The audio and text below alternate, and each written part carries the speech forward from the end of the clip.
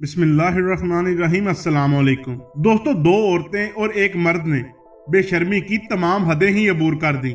अभी तक ये मालूम तो नहीं हो सका कि ये किस इलाके की वीडियो है, लेकिन इस वीडियो में ये देखा जा सकता है कि एक मेहरान गाड़ी सड़क के किनारे पर खड़ी है और दूसरी जानब दीवार के साथ तीन बकरे बंधे हुए हैं।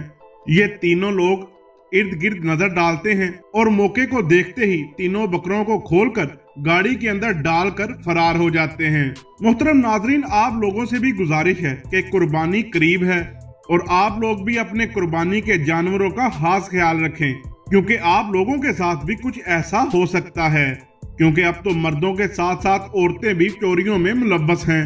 अल्लाह रबुल इज़्ज़त इन चोरों को हदायत दे और अल्लाह रबुल इज़्ज़त पाकिस्तानियों की जानो माल की हिफाजत फरमाए।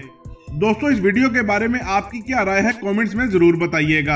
आज की वीडियो में इतना ही। मिलते हैं अगली वीडियो में। तब तक के लिए अल्लाह हाफिज।